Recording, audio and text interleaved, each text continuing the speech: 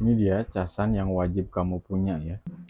Ini tuh besi kuat. Ini kalau kamu punya iPhone punya Android yang pakai Type C dan yang pakai buat iPhone ini ya bisa beli kabel casan ini. Ini multifungsi ya ada 4 in 1 udah pas charging harganya juga murah ya. Jadi nggak bakal nyesel beli kabel ini.